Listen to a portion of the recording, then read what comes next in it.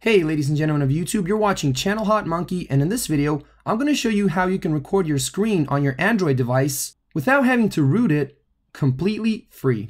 Now we're going to be doing this using an app called Mobizen. First off, I'm going to show you which particular version of the app you should download from the Play Store. Then we're going to be going over some basic settings for video capture then we're actually going to see how you can record your screen. And after that, we're going to go through some of the upsides and the downsides to this application. So stay tuned. So when you go to Google Play and do a search for Mobizen, you'll actually get three results. The third one on the list right here is Mobizen Mirroring for Samsung, and that's an app that we're not going to be looking into. We're interested in the top ones, this first one and the second one. Now, if you're using a Samsung device like I am in this video, then you want to go for the Mobizen for Samsung app because the ordinary version won't function properly on your phone. If you're not using a Samsung device, then go for the ordinary Mobizen application. Since this is a Samsung device, I'm going to install Mobizen for Samsung. So once the app is installed, you should get a icon on your home screen. And the first time you open it, you should be greeted with a welcome now in previous versions of this app, you would normally have to go through a free registration in order to be able to use the options that the app has. Luckily, in this version, you don't have to go through that. You simply have to go through the quick tutorial, which starts after you tap on welcome. So the first time you run it, it will start adjusting for best performance. And this is something that will only happen the first time you start this app. Now it takes you through a quick tutorial. Tap the air circle to start recording and capturing. It tells you it has three basic buttons, the record button, the circle menu, and the capture button. We're gonna tap anywhere just to continue. And in order to get rid of the air circle, this little thing right here, you simply press and hold it and drag it down to the X. Now before we actually start recording, we wanna go through the settings. So we'll do that by tapping on the Mobizen air circle, and then we're gonna tap on the middle button right here, which is for settings. Video settings are enabled, so we're gonna just push this up and then we're going to tap on the little gear icon in order to open up the settings. First off, we want to go through the video settings. If we tap here, then we can see that we can set the resolution, and the quality ranges all the way from 240p up to 1080p Full HD. So I'm going to go with the highest quality.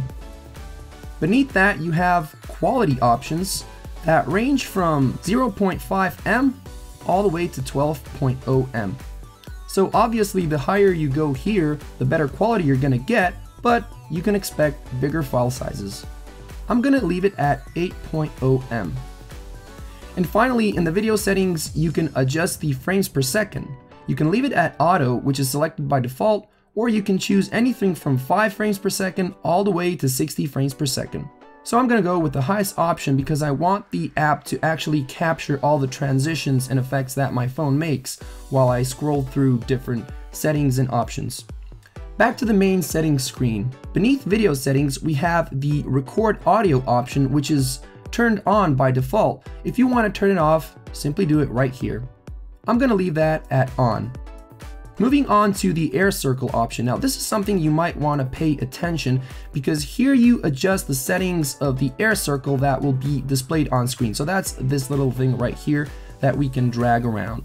So the thing with this application is that when you record, it actually captures this air circle. Luckily, in this settings page, you can adjust the transparency of the air circle on this little transparency meter right here. If it's all the way to the right, then it's fully visible. If you put it to the minimum, then you'll get this little circle thing right here, but we don't want that because we don't want this to show in our video. So from my experience, I found that the best thing to do is actually adjust the transparency level just a bit over the minimum. Now it might take a few tries, but eventually you'll get it. The thing is that the air circle right now is not completely invisible, but it's actually undetectable to the human eye. So this is a setting for the air circle that I go with. Back to the main settings page, after the air circle option, you have an option to use your front camera. Right now, by default, it's disabled, but if you want to go and record your front camera, then you can turn this option on. As you can see down here, it shows you a little box with the footage that your front camera is capturing. If you tap on it, then you can press and hold to position it wherever you want. You can actually adjust the size of the box and if you don't like it, you can simply tap on the X. I'm going to turn this off. Mobizen actually has a watermark on screen. So by default, every video that you capture has a watermark. I don't want that, so I'm gonna turn it off right here.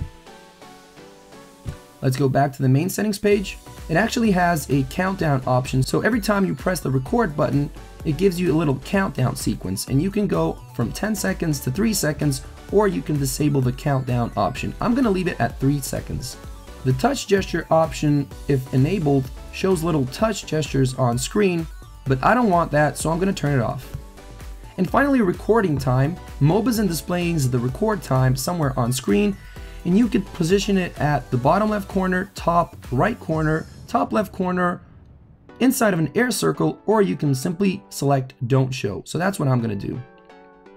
Now Mobizen has some other options like the editor icon. The program comes with its little own video editor, but we're not gonna go through this. We're gonna stop it at these basic settings for video capture. So now that we're done with the settings, we're gonna go back to our home screen, tap on the Mobizen Air Circle, and in order to start the recording, we're simply gonna tap on the record button. Here we have our countdown, and here we go.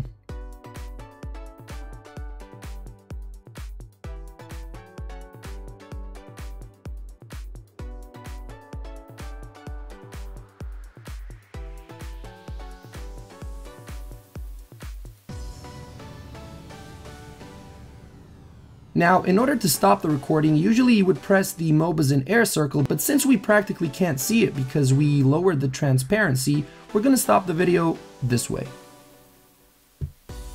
Once you're done, it greets you with this screen where you can watch your video, edit it using the inbuilt video editor that Mobizen comes with, or you can delete the video. Your videos will also be stored in your phone's gallery.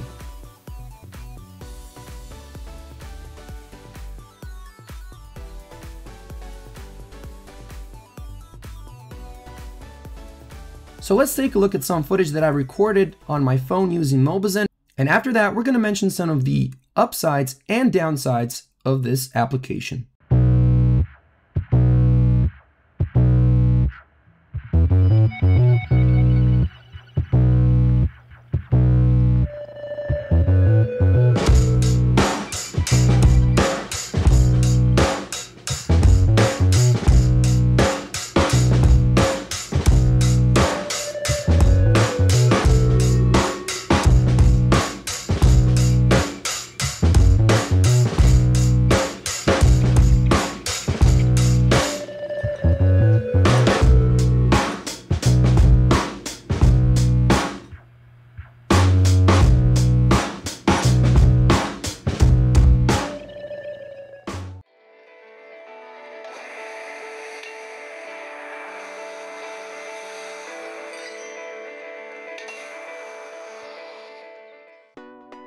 Now like most apps, this one has some good things and some bad things to it, so in this section we're gonna go over them. First off, the good. The best thing is that this app is completely free and you don't have to root your device in order to use it. It's fairly easy to use and records very very decent video quality. Now, as for the cons, the first one that I would mention is the fact that this application is not compatible with all devices. So if you have an older device, you might have some trouble trying to run it. Another problem that I found with this app is that sometimes the settings that you enter don't apply. For example, if you watched my video, you'll remember how I disabled the touch gesture options. But nevertheless, the touch gestures were there afterwards. So sometimes you'll need to enter the settings a few times. From my own experience, if it doesn't apply the first time, the next time you enter those settings, they're most likely to work. And finally, I need to mention that the application doesn't record very high quality audio, especially the audio that is recorded from your microphone.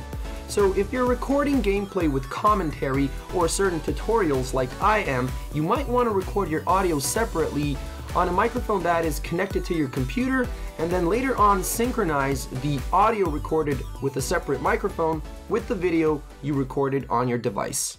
So I really do hope that you found this video helpful. If you did, why not leave a like and share the video with your friends? For more similar content in the future, be sure to hit that subscribe button and I'll see you in the next one. As always, thanks for watching and stay strong.